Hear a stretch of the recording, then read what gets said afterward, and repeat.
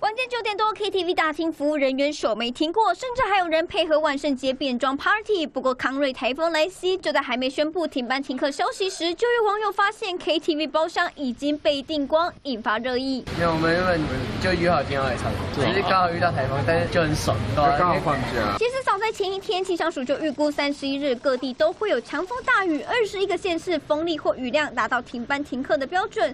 不过恐怕大家想放松的心情藏不住，而实际直击三十一日早上。啊，放假就是要来唱歌啊。诶，生生意其实是蛮好的，唱歌也很多，但是外面人不多。之前有打电话问过。